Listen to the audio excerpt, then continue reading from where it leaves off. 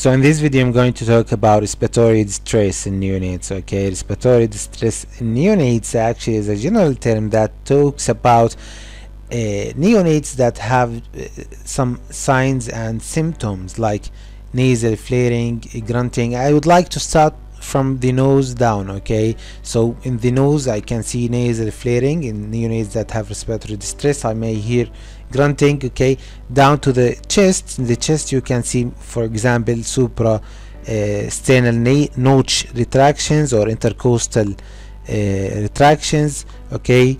Tachypnea which is increase in uh, respiratory rate okay. You can see decrease in entry or by stethoscope. In severe cases of respiratory distress in neonates you may see cyanosis. So cyanosis is not a must to tell that it is respiratory distress okay but it may be present in severe cases. Okay in this video i'm going to talk about the etiologies the underlying causes that may lead to respiratory distress in, in neonates according to systemic causes pulmonary anatomical causes. Then i'm going to talk about what we call respiratory respiratory distress syndrome which is one of the most important and common causes of respiratory distress in premature or neonates okay I'm going to talk about the signs and symptoms of respiratory distress syndrome, the investigations and the treatment the complications of respiratory distress syndrome. Okay, so I want you to distinguish between the respiratory distress in neonates and the respiratory distress syndrome. Respiratory distress syndrome actually is a specific syndrome that may lead to respiratory distress in neonates. So it is one of the things, many things that can lead to respiratory distress. Respiratory distress is a general term of many etiologies, okay, but respiratory distress syndrome is one of these etiologies. Now let's talk about these etiologies. What the what are the causes that may lead to respiratory distress in neonates? We have three general big causes. We it may be systemic causes okay or pulmonary causes or you may have anatomical causes that may lead to respiratory distress in neonates systemic causes like what? Like infections. Respiratory infections and pneumonia any infection sepsis may lead to respiratory distress okay. Metabolic causes like metabolic acidosis for example may lead to respiratory distress.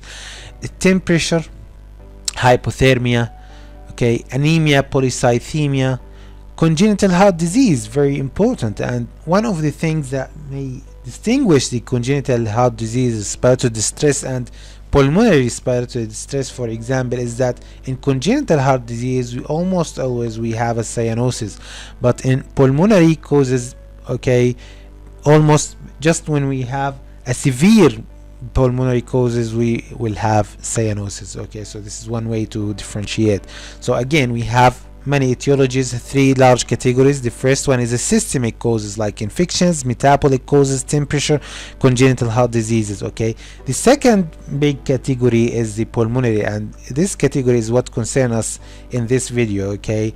The pulmonary causes of respiratory distress is categorized into preterm causes and term causes because preterm uh, children or neonates actually uh, have some uh, distinct causes that may lead to respiratory distress okay? And term children also have some their particular uh, diseases that will lead to respiratory distress. I'm going to talk about that in a minute okay? Now let's go to the third category the anatomical defect. We may have upper airway obstruction due to any anatomical defect that may be congenital malformation or anomaly and so on okay? This is systemic causes the pulmonary causes the anatomical causes. Let's get back to the pulmonary causes. If we have a preterm child okay or preterm neonate okay we have to suspect some distinct causes that may lead to respiratory distress okay? And this is again will uh, depends on uh, the manifestations of the respiratory dis distress. Uh, did the manifestation manifest less than six hours uh, of the child age or more than six hours old okay? Did it take six hours or more to manifest? If we have respiratory distress okay? If we have a preterm child okay? And that preterm child manifested respiratory distress in for example 4 hours old okay? Then we have to suspect first the presence of respiratory distress syndrome. The second thing that we can suspect is pneumonia okay so please in premature preterm babies if the manifestations were uh, in time that uh, less than six hours old okay then the first thing to suspect respiratory distress syndrome and the, after that pneumonia okay? But if it take uh, took him more than six hours to manifest the respiratory distress then think about pneumonia first thing to think about pneumonia. Then think about congenital heart diseases. Okay? So this is for preterm. And actually respiratory distress syndrome is a distinct or is a, a disease for preterm or premature children or neonates. Okay? So please again less than six hours preterm and term. Less than six hours more than six hours. Preterm less than six hours the most thing to uh, to be the cause of the respiratory distress is the respiratory distress syndrome then pneumonia. More than six hours the most important thing is the pneumonia then congenital heart disease. Again if we have a term child then again we have less than six hours and more than six hours. The more than six hours old the causes are the same in the preterm children okay? It may be due to pneumonia or congenital heart disease pneumonia and congenital heart disease are the most common causes that may lead to respiratory distress in more than six hours old children whether they uh, were preterm or term children okay? But if we have less than six hours old okay we have some different causes. If we have less than six hours old manifestation of pre uh, of ne neonatal respiratory distress if the patient was preterm then you have to suspect respiratory distress syndrome or pneumonia. If he was term baby then think about what we call transient tachypnea in neonate i'm going to talk about that in the next video okay? Transient tachypnea in the neonate or asphyxia or lung anomalies. But if less than 6 hour respiratory distress syndrome and pneumonia. In this video and the subsequent videos i'm going to talk about three important subjects the respiratory distress syndrome the transient tachypnea in neonate the meconium aspiration forget to tell you we have meconium aspiration as a cause of respiratory distress syndrome. And i'm going to talk about briefly about the congenital pneumonia. So now let's start uh, with the respiratory distress syndrome respiratory distress syndrome. Please remember that respiratory distress syndrome is a disease of preterm but this doesn't mean that may uh, it will never uh, manifest in term babies. No sometimes we have a term babies with respiratory distress syndrome but this is most in preterm distinctively in premature babies okay? And uh, manifested in less than six hours old children okay? So respiratory distress syndrome is the most common and the most important cause of respiratory distress in what? In a premature. Again this is a repetition. I'm repeating myself so that you can remember what i say. Okay? About 60 to 80 percent of respiratory distress syndrome present in less than 80 uh, 28 weeks. Okay? So it's a disease of premature babies. About 15% in 32 to 36 weeks okay? So when the patient get older or more mature respiratory distress syndrome will decrease okay? Uh, uh, just 5% of respiratory distress syndrome presented in term babies okay? So it's a disease of premature. What really happens the pathogenesis of respiratory distress syndrome is that we have a premature child for example okay or child that have prenatal asphyxia these are the main two risk factors for respiratory distress syndrome the important thing in respiratory distress syndrome or the key thing to understand that we have what we call redu- reduced surfactant production. And what is surfactant? Surfactant is actually lipids plus glycoproteins complex that produced by the pneumocytes type 2. You know we have pneumocytes type 1 and pneumocytes type 2. Okay, the surfactants are lipids and glycoprotein that produced by pneumocytes type 2 in the alveoli and works to decrease the surface tension. What does that mean? So let's assume that this is an uh, alveoli, okay? In the alveoli we have, oops, okay, so we have here some kind of a fluid okay a fluid in the alveoli. And we have uh, uh yani cells that we call the pneumocytes type 2 okay pneumocytes type 2 the pneumocytes type uh, or let's again repeat the idea that this fluid in the alveoli will apply some forces that will collapse the alveoli in okay? So this fluid have a force that we call the surface tension you know? What I want you to know about the surface tension is that it is a force that makes the alveoli collapse or pushing the alveoli walls in okay? So this is uh, the surface tension. The pneumocytes pneumocytes type 2 produce what we call what? The surfactant the red thing here the surfactant. The surfactant uh, function is to produce again a, a opposite force okay that will prevent the surface tension force to collapse the alveoli okay? So the surface tension due to the presence of a fluid in alveoli will push the alveoli in. In in in in in. And the uh, surfactant will oppose this force and push the alveoli out out out out out okay? So this mechanism will prevent the collapsing of the alveoli on exhalation for example okay?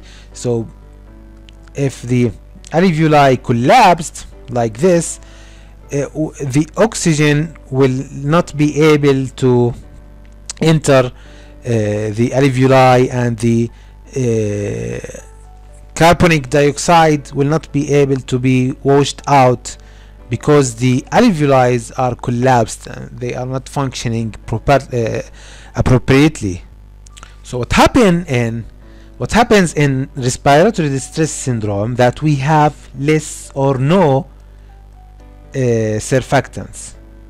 This red thing that oppose the force of surface tension is not existed.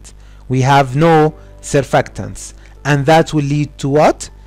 To surface tension forces that will lead to alveoli collapsing. So we will have collapsed alveoli and that will decrease the lung compliance or ability to uh, to stretch and uh, expand okay so again let's just uh, tie our ideas we have premature baby and this premature baby have less surfactants the products of lipids and glycoproteins that oppose the surface tension which is the force of a fluid that moves the alveoli in.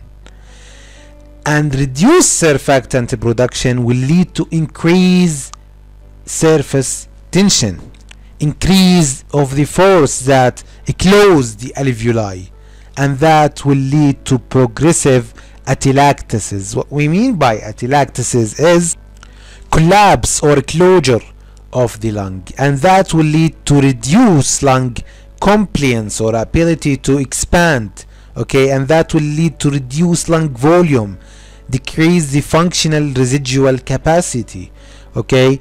And the end result of this atelectasis to this increased surface tension or collapse is the hypoventilation.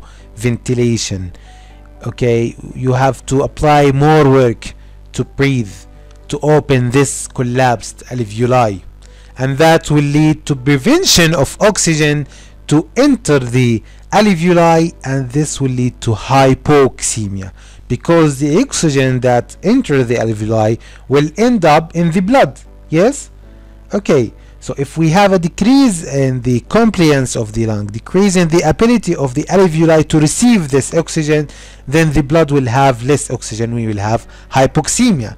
And actually hypoxemia is the first thing to happen in respiratory distress syndrome.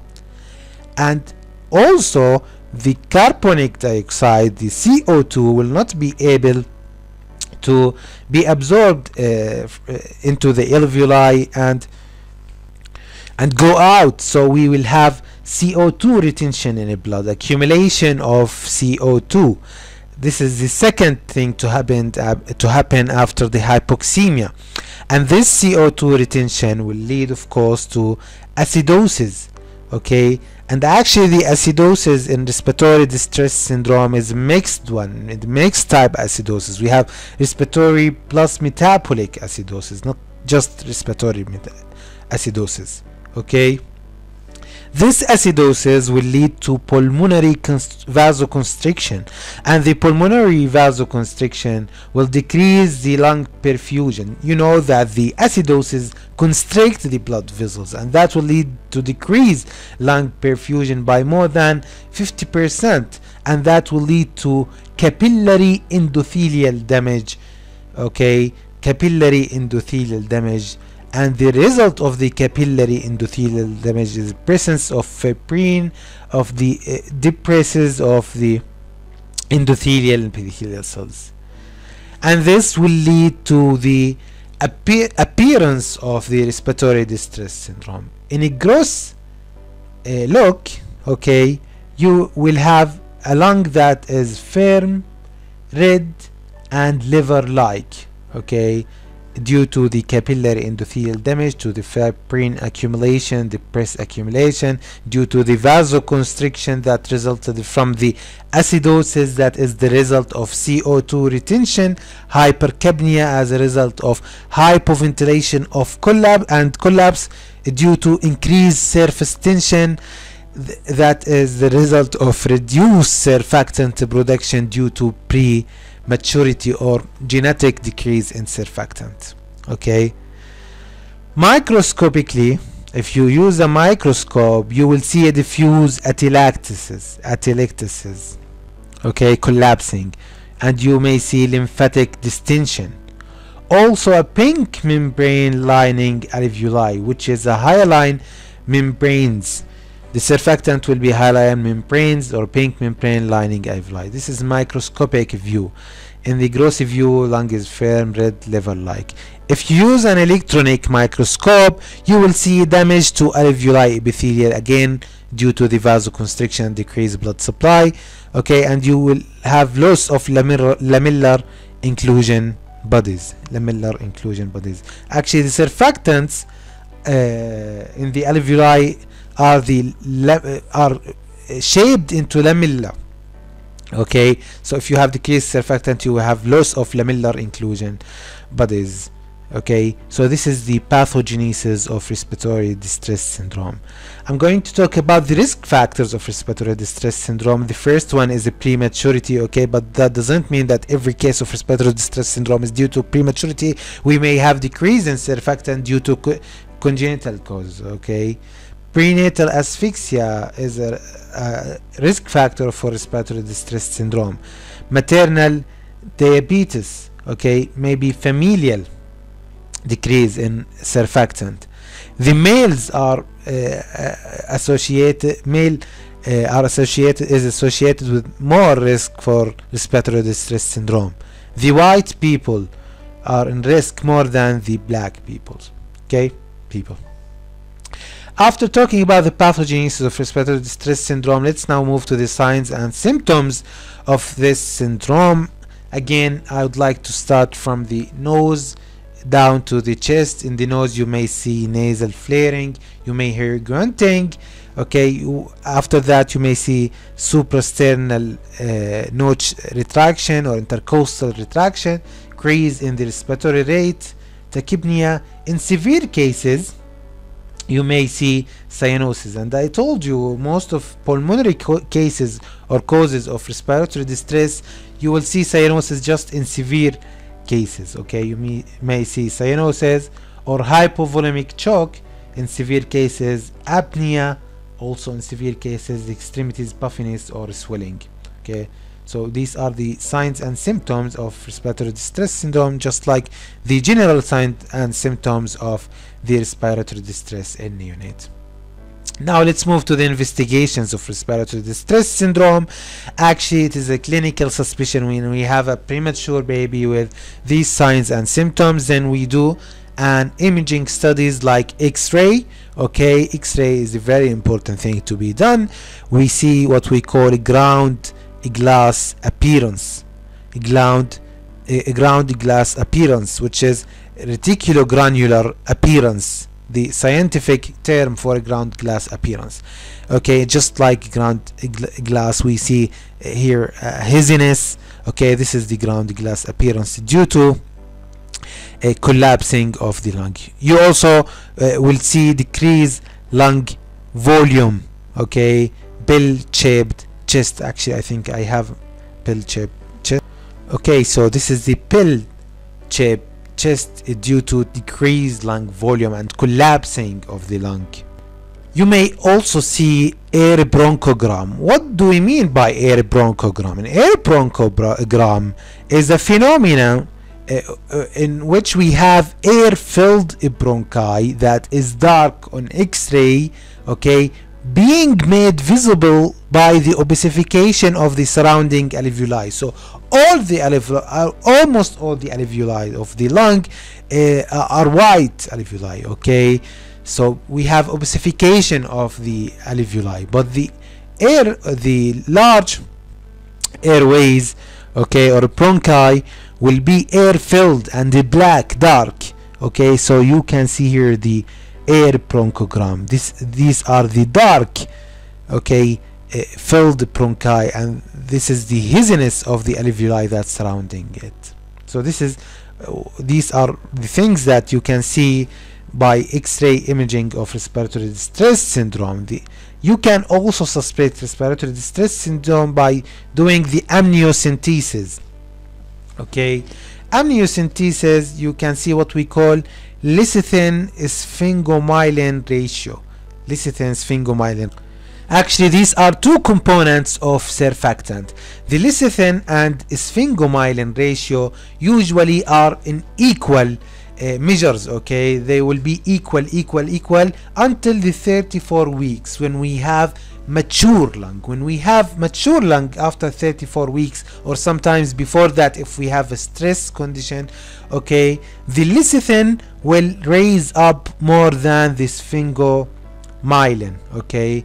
So the lecithin will raise up more than sphingomyelin okay? And the rate will be more than 2 lecithin over sphingomyelin will be more than 2 if it is more than 2 then you can say yes it is a mature lung. If it is less than 2 you can uh, you can say that it is uh, not mature lung okay? So this is how to investigate for respiratory distress syndrome. Taking amniocentesis lecithin sphingomyelin ratio. If it is more than 2 so you say no this is a, a mature lung. We have enough surfactant. If it's less than 2 no it is not mature.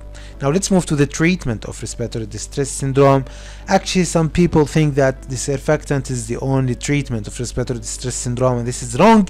Sometimes we even don't give the surfactant in some distinctive uh, cases okay?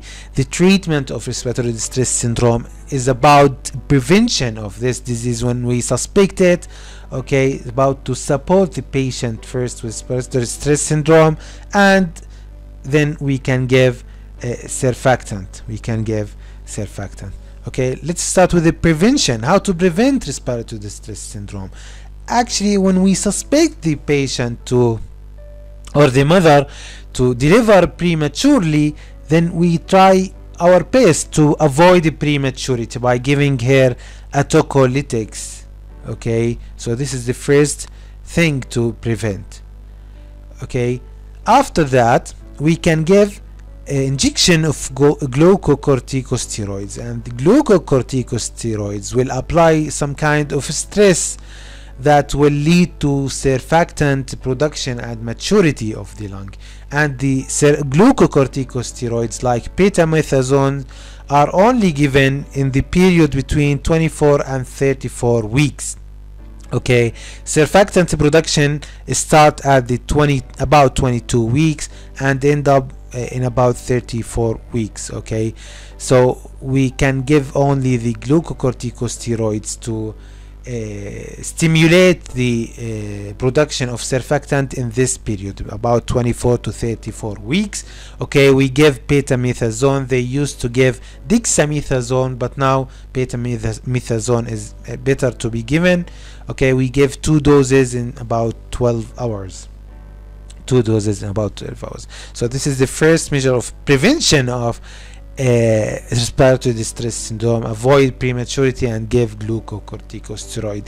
Now the supportive therapy of respiratory distress syndrome is it is it is a respiratory syndrome. So we have hypoxemia as i told you. Then you have to give oxygen. You give oxygen how? By continuous positive airway pressure the what we call cpap the continuous positive airway pressure where uh, will push the oxygen into the alveoli of the baby and that will lead to opening of this alveoli will lead to decreased collapsing of these alveoli okay?